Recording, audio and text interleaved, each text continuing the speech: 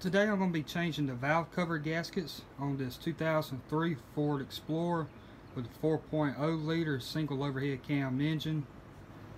Valve covers are on each side over here.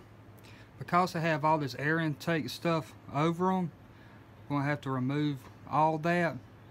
So that means we have to unplug things like the the uh, mass airflow sensor and taking vacuum lines off.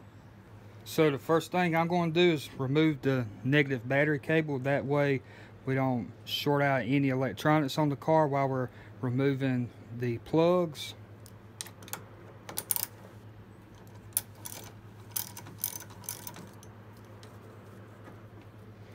Just make sure to pull the terminal over to the side so it doesn't touch and spark on you. All right, I'm gonna start off by taking off this little plastic cover for the throttle body. It has a couple T25 Torx head screws in it. So you'll need some Torx bits like this.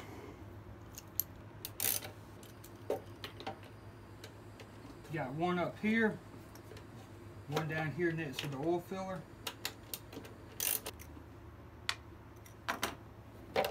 Now I'm going to work on getting this air box and the air tube off. I'll go ahead and unhook the wiring harness for the mass airflow sensor. Just pushing that tab and they'll come on out. You gotta remove any vacuum lines off of it or any uh, PVC lines. One right there. You want to check around it. It's got a clip up here that's holding in a wiring harness. You want to remove them wires out of that harness. Take a flathead screwdriver and loosen this hose clamp.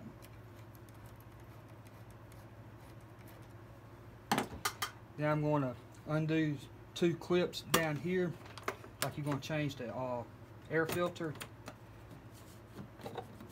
Take the air box loose. Look around, make sure there's nothing else hooked up to it. Now you want to get this loose from the throttle body and just set it out of the way for now. What I'm going to do also, I'm just going to remove the air filter so I'm not dropping any dirt or nothing on the clean side of the air filter. And while I got it off, I'm going to clean it out and clean that air box out. Now looking at it, you got your throttle body right here, which is partially over this valve cover.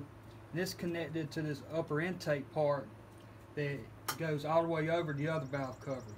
So we need to get all this off to be able to get access to the valve covers. Now we got to start taking things loose from the throttle body. First thing got to take these two uh, throttle cables off. This one on the outside goes to the the uh, cruise control. One thing you got to do is take that one loose from the throttle body. Just slide it to your left and it clips right off. Then we need to get this this cable out of our way. It's held in in this bracket. It's got a couple little ears on it. I'm just going to squeeze them ears in, push it through, pull the cable straight out. It's got a couple places where it's connected to the top of the intake. Just pop the cable out of them. Just pull it around and we're just going to set it over to the side with the throttle cable, it runs in this groove right here. Has an end on it that holds it in the end right here. I'll take my pliers, squeeze some ears in.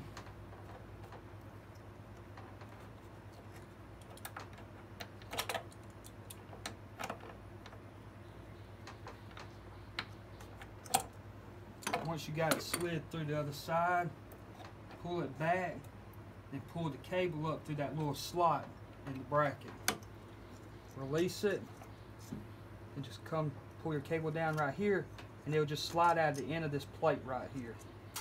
It has this end soldered onto it and all it does is just slide in there like that. So slide it out. Then we want to set this one off to the side. It's got a couple clips. It's got a clip right here. and a clip right here.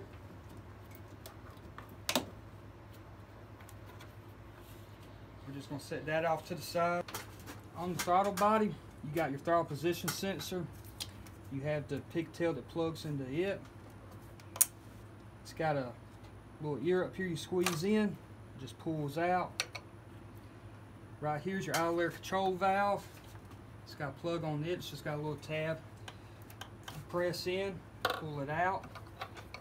These wires are held onto the top of this throttle body right here on this bolt head. May have to take a screwdriver or something. You just want to pry that up off there gently.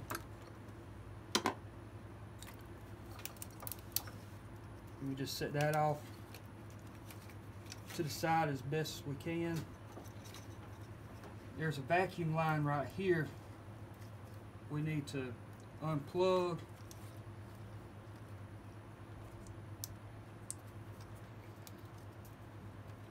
Get that out of the way. Set that to the side. Set this one to the side.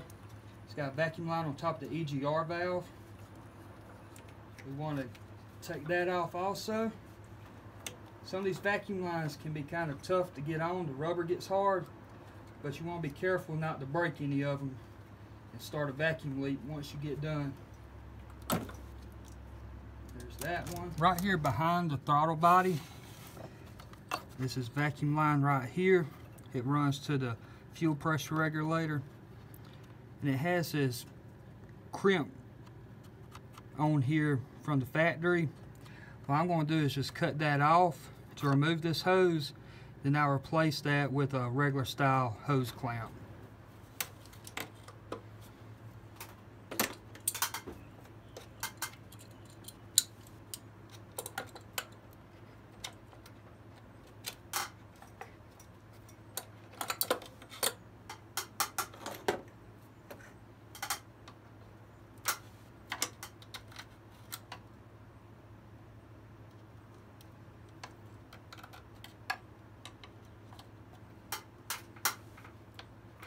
Sometimes these vacuum lines can be a little hard to get off as that rubber gets heated on there good.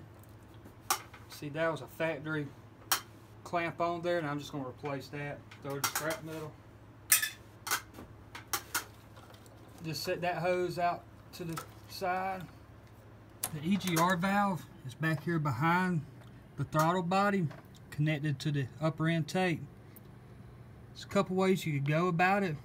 You could remove the two bolts that holds the EGR valve onto the intake or you can just remove the exhaust pipe from it. I'm going to take the exhaust pipe off of it. That way the EGR valve and all is still on the intake and just remove it all off as a whole. Get that pipe off, you need an inch and 1 16th wrench trick with this, with it being a tight spot, every time you move it, you take the wrench off, flip the wrench around, it gets you at a different angle, and you get a bite on it.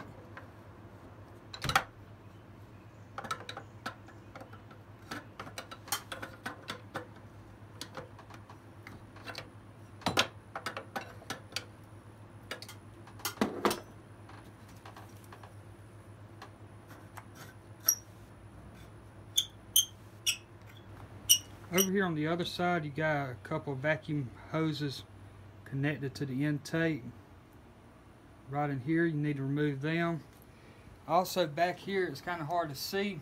There's a little wiring harness that just clips onto the intake. You just want to pop that out too. Move that over to the side. Pull this vacuum line off. I'm going to disconnect this one so we can get it out of our way.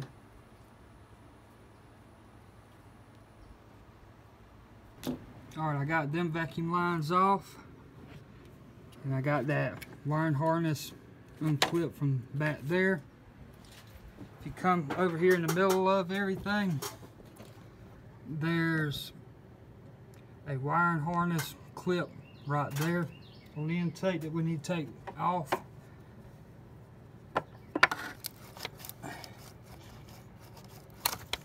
Go.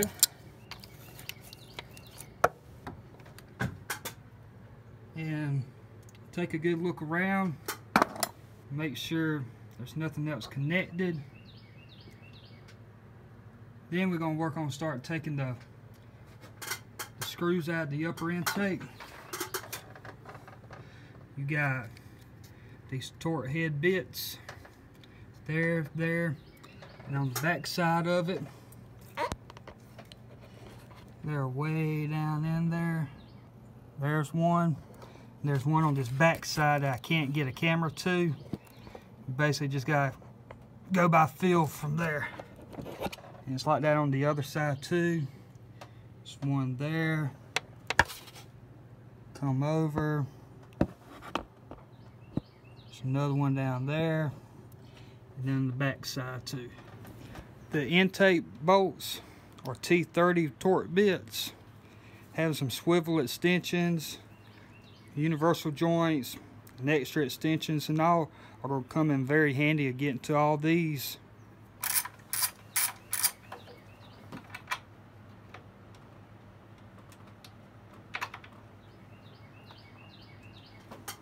Here it comes out they sit in these boots. Having an extension magnet can come in handy of uh, retrieving them too.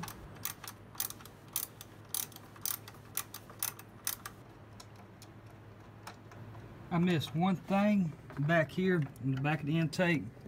It's got this valve mounted to it. It's got these vacuum lines and this wiring harness connected to it. I just need to take them loose to be able to get it off.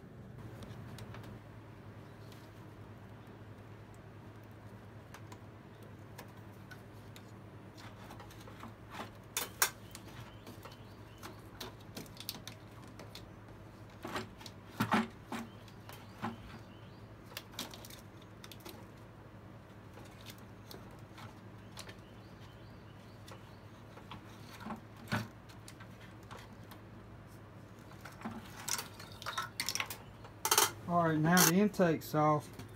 This is the bottom side of it. If you like to, replace them, uh, the intake gaskets right here. They're made out of silicone. A lot of times you can reuse them. But while you got it off, might just be a good idea to go ahead and change them. Clean the surface up real good. Here on top of the engine you're going to want to clean this area up good before you put the upper intake back on. What I'm going to do is stuff some paper towels or some rags into these ports to keep from anything falling down into the engine while I'm working on it. Alright, now that we got the intake off, if you look around on the valve covers, on a lot of the bolts, it's going to have wire looms connected to them. Right here, we have to pull, get all them off all the way around it. Sometimes they can be a booger to get off. Let's try this one. There, that one came off pretty easy. You're gonna need some some um, long um, deep well sockets to get these off.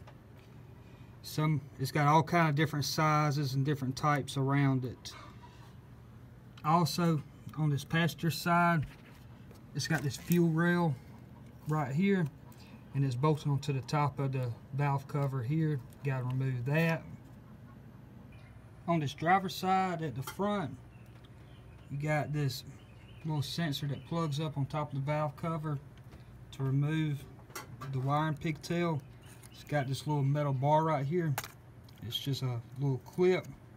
Remove that, and it'll slide right off. Now it's just a matter of getting all the fasteners off the valve cover. Seems like they're a 5 16 You're going to need a deep well socket. And I don't have 3 8 inch drive deep well sockets this small. So I'm using quarter inch. And that'll work good because these fasteners are real small and when you go to tighten them up it'll be better to tighten them up with a quarter inch drive uh, ratchet. That way you don't risk over tightening them and stripping the threads.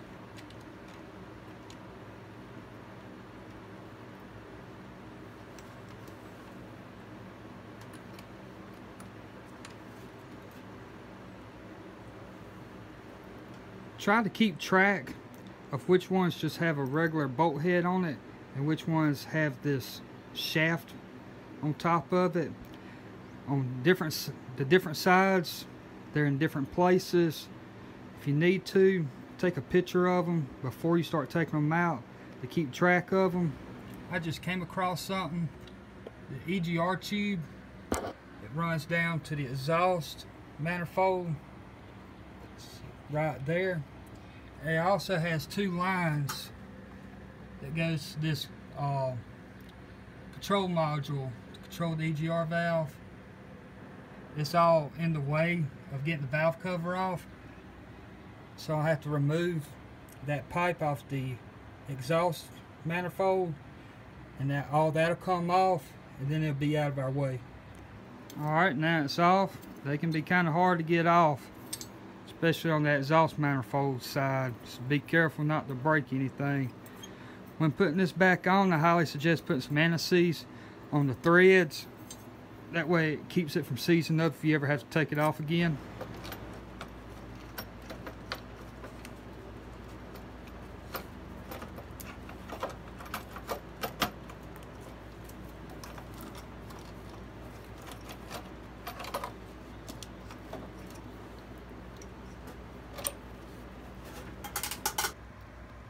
Here's the valve cover off the car.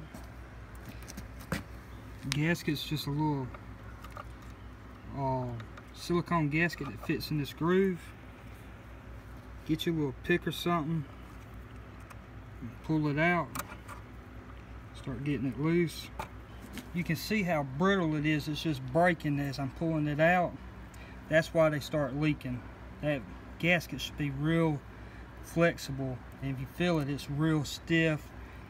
And as I've been in it's cracking in places. It's just coming out in pieces. After you get the old gasket out you want to take some brake clean and start cleaning it up real good wiping it down make sure there's no trash in that groove. And I just like cleaning both the inside and outside of the valve cover. Now that you got the valve cover cleaned up good you want to match up the gasket to the valve cover. It's got two different sides on it. One side has these these knurls on them. That's the end that you're going to put inside the groove on the valve cover. That helps hold it in place. So you just want to kind of get it laid out in the order which way it goes.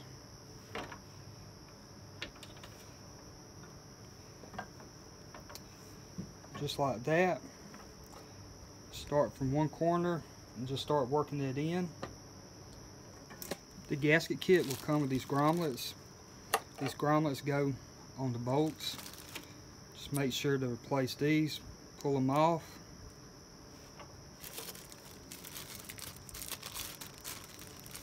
Get you one and put it back on there.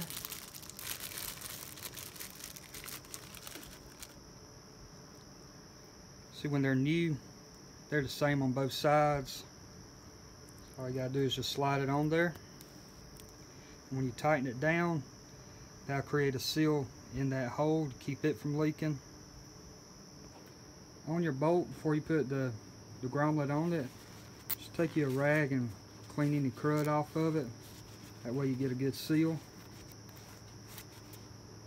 I just go ahead and stick the, the bolts back in the valve cover push down on them and it seats that grommet. With that grommet in there, it'll hold them in place. Just have them in there. That'll make it a little bit easier than trying to fish for them. Before you put the valve cover back on it, you want to go around this maintenance surface around here, all the way around, and clean it. What I do, I just put a little bit of brake clean on my rag and wipe it down real good. You don't want to get no crud down into the head though. You want to be careful. Then carefully put your valve cover back in place. Once you got it in place, you want to get the bolt started all the way around. Just do it by fingers, you know, uh, just to run them down, but don't tighten them up yet. Just go around and just run them down.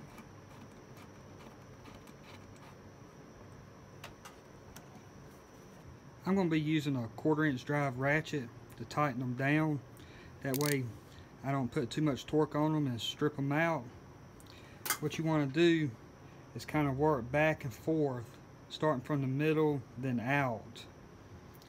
Of tightening them down, doing just a little at a time. That way everything bolts down smoothly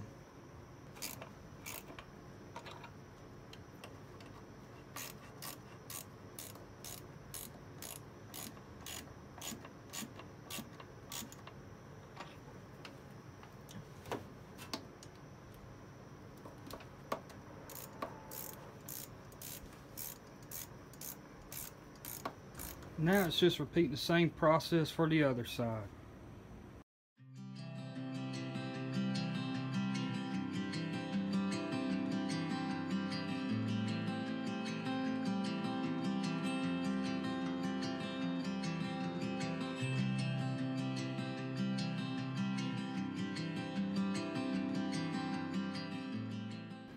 It's just a matter of putting everything back together in reverse order. I'm going to, first off, before you put the intake back on though, you want to clean that, that mating surface. And I'm going to go ahead and replace the, the intake gaskets. The intake gaskets just six individual rings come in a kit. You just basically do it the same way you did the valve cover gaskets.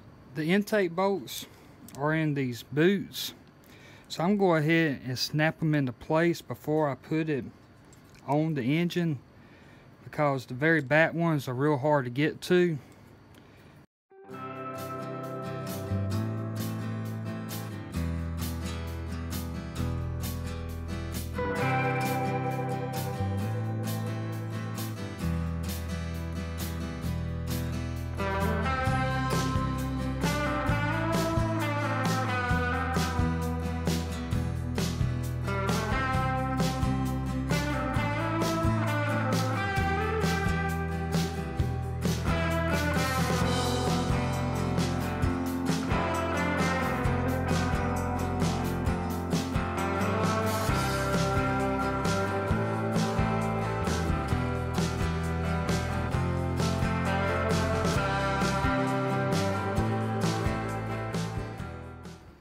Before you put your throttle body cover on, just look over everything. Make sure you got all the vacuum lines and wiring harnesses connected. Once you got everything back together, connect your battery back up, crank it up and see how it runs. Check it for any leaks and take it for a test drive. I hope you found this video helpful. If you liked it, please remember to give it a thumbs up and subscribe to my channel.